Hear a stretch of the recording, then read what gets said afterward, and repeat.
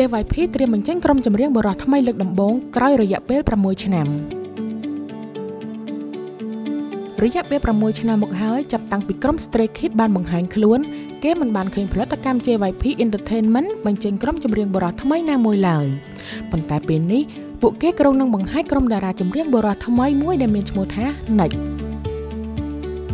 ផលិតកម្ម JYP បានប្រកាសកាលពីថ្ងៃទី1ខែឧសភាថាក្រុមចម្រៀង Next នឹងបង្ហាញខ្លួនជាផ្លូវការលើកដំបូងជាមួយនឹងបទចម្រៀង Rider Web នៅថ្ងៃទី20ខែឧសភា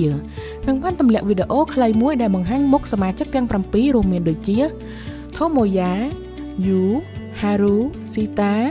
Yuo, Yoki និង Sogun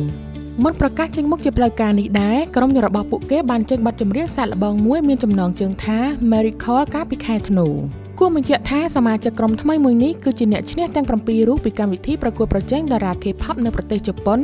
Nizi Project Season 2ដែលបានចាក់ផ្សាយកាលពីខែកក្កដាដល់ខែធ្នូឆ្នាំមុនសមាជិកទាំងអស់នៃក្រុមគឺជាជនជាតិជប៉ុនលើកលែងតែ Sugun ម្នាក់គត់ដែលជាជនជាតិកូរ៉េ